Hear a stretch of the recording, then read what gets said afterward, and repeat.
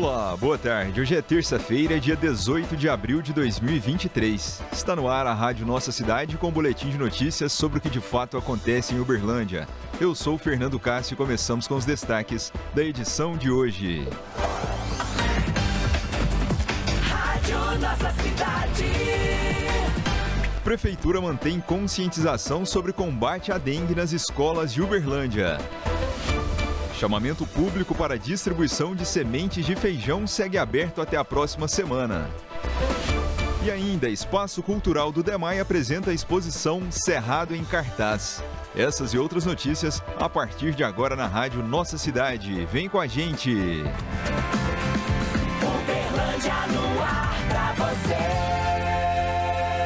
Em mais uma ação de combate ao Aedes aegypti para conter a transmissão das doenças transmitidas pelo mosquito da cidade, a Prefeitura de Uberlândia dá sequência a uma conscientização nas escolas municipais e estaduais sobre os cuidados necessários para eliminar focos e possíveis criadouros.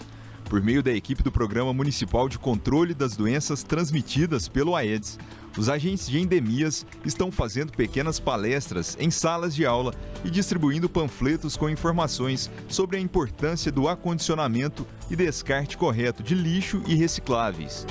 Durante o trabalho de conscientização nas escolas, os agentes reforçam a importância de cada um fazer a sua parte. Segundo o levantamento do Centro de Controle de Zoonoses, 84% dos focos do mosquito estão nas residências.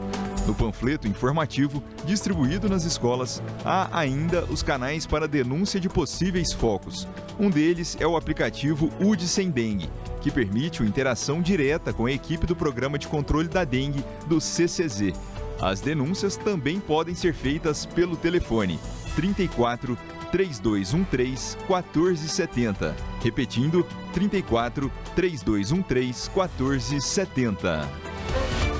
Termina na próxima semana o prazo para cadastro dos interessados em receber sementes de feijão, reforçando o apoio aos pequenos e médios produtores rurais, com destaque para a agricultura familiar. A Prefeitura de Uberlândia, por meio da Secretaria Municipal de Agronegócio, Economia e Inovação, abriu chamamento público para distribuir sementes de feijão. O cadastro dos interessados deve ser feito até às 4 horas da tarde da próxima terça-feira, dia 25 de abril.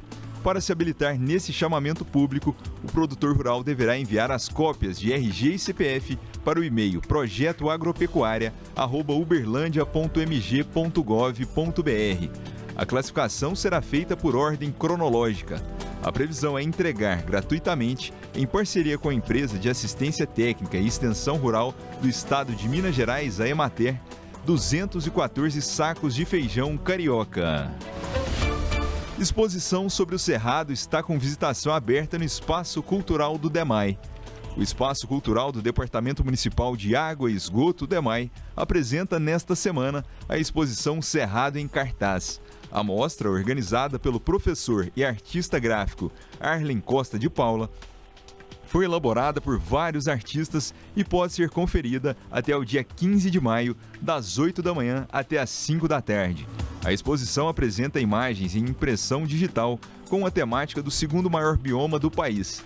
Estão expostas 12 obras que enfatizam as belezas naturais e a importância vital do cerrado para nossa sobrevivência. Entre os destaques estão uma onça pintada, feita por uma aluna, e uma onça rainha elaborada por Jude Duarte, artista de São Paulo. Giro de notícias.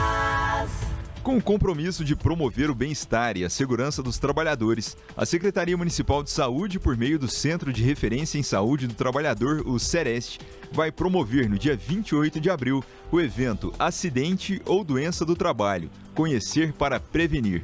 O link para as inscrições está disponível no portal da Prefeitura. A ação, que faz parte do Abril Verde, mês de conscientização e prevenção de acidentes e doenças do trabalho, vai ocorrer das 8 da manhã ao meio-dia e meia. O evento será realizado em parceria com o Ministério do Público do Trabalho. As atividades vão acontecer no auditório Cícero Diniz, aqui no Centro Administrativo Municipal. A Secretaria Municipal de Cultura e Turismo elaborou diversas atividades gratuitas pelo Dia Internacional da Dança. A programação especial segue até o início de maio. Na semana que vem, no Centro Municipal de Cultura, haverá o dia D Dançar Forró e o dia D Dançar Hip Hop. Mais informações sobre a programação podem ser obtidas no portal da Prefeitura. Acesse! Giro de notícias. A edição de hoje fica por aqui. Obrigado pela sua audiência. Rádio Nossa Cidade. Jornalista responsável pela edição, Fernando Natalio. Tradução em Libras, Amanda Valentim. Responsável técnico, Cristiano Silva. Secretário Municipal de Governo e Comunicação, Marco Túlio de Castro Kalimann. Prefeitura de Uberlândia. Fazer mais, fazer bem. Até a próxima. Fica por aqui mais uma edição do programa da Rádio Nossa Cidade. Continue conosco no portal da Prefeitura e nas redes sociais.